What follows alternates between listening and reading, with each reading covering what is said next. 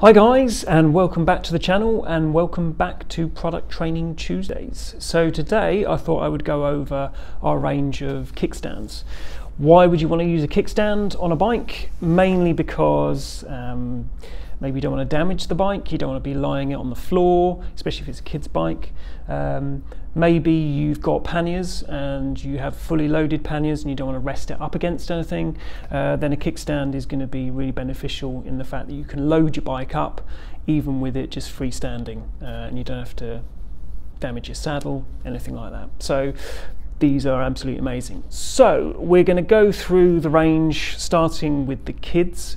Um, so we're going to talk about the this one here and this is the 100 so this will do 16 inch um, to 24 inch wheel um, so it comes with the attachment so the allen key or you can use a I believe it's a 13 mil on the top with a little bracket generally if the bike comes with a potential bracket in the actual frame itself then you don't need to use this at all because it will sit between the chainstays so with the bracket, you can then literally just remove that and then screw it directly into the base. So uh, really, really easy to fit. If you're unsure, then take it into store to get it fitted. Uh, these are 5.99. You, you can adjust the height as well. So once you've actually fitted the stand, then you can adjust the height, make sure that when you turn the handlebars that the bike doesn't fall over. If it does fall over, then you need to uh, potentially lower or extend the height um, on the stand. So uh, very, very cool. Next we've got the, the tilt, and that's this stand here. So this will only fit the tilt and the Hoptown folding bikes. So this is for a 20 inch wheel. Again, it's adjustable, and that's from the grub screw on the back. So you can adjust the height of its, of its uh, fitting. And it is for the uh, circular chainstay. All right. Next we have the one here, which is the 300. So the 300 will fit most bikes, again with the, the bracket in the middle. Um, most of our Riverside range will have the bracket to allow this to fit. So uh, very, very, very handy. It is a 25 kilo, so it would take a 25 kilo weight on it. And again, you can adjust the leg. I'm just going to fold this.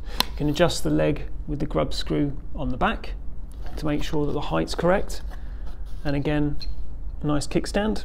That is 6.99.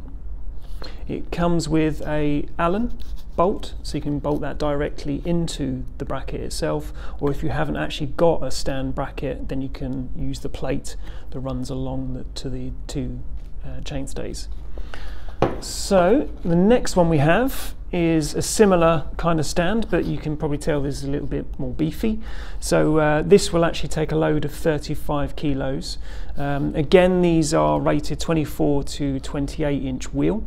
Um, but again, if it's got the bracket, you can use the Allen, or alternatively, you can put it between the two chainstays with a plate. But uh, again, you've got the extendable leg, and again, that has a grub screw on the back so you can actually adjust the height for the foot. So the foot is actually bigger than the, uh, the previous one, which keeps the, uh, the weight a little bit more, a bit spread, and therefore uh, it will keep it a bit planted. So uh, much beefier stand. So 35 kilos, that's massive. But uh, next one we have is the chainstay stand. So the chainstay stand will allow 25 kilos of weight to be carried on it. Um, it's best to be used on chainstays that are oblong. So we're talking the ST100 comes with uh, oblong chainstays. So I don't know whether you can see the shape here. It will not work on circular chainstays, so bear that one in mind. The reason being is because as soon as you start to load the bike, then it will start to move and twist round, and then eventually the, the bike will fall over anyway. So if that's the case, if you've got a bike where you're unsure of whether this will fit, then it's probably better if you moved on to our next um, stand, which is this one. So this one is uh, 9.99, as is the uh, the other one.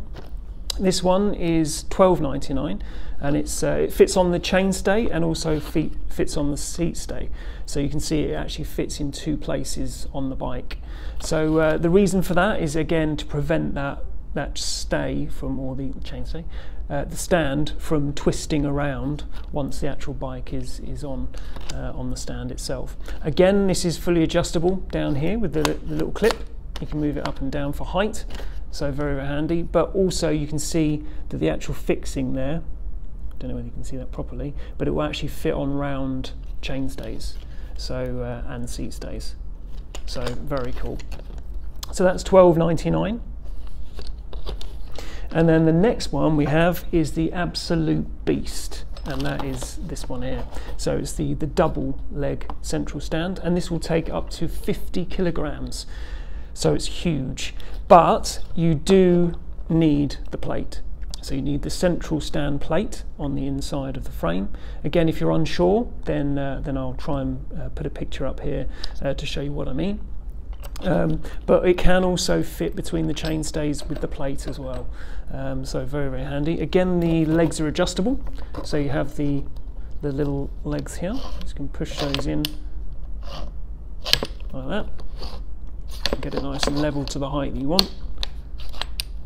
So very, very cool. You normally uh, can fit these to most city bikes, uh, but again, anything with a, uh, a central uh, plate will allow you to fit that. Um, so these are 17.99. Um, and they're available all in your stores now. If you have any questions, then feel free to stick them in the comments below. Uh, alternatively, you can always go into store and ask one of our teammates to uh, to actually fit these for you. But uh, anyway, that's going to be uh, be it for today. Take it easy, guys. Thank you.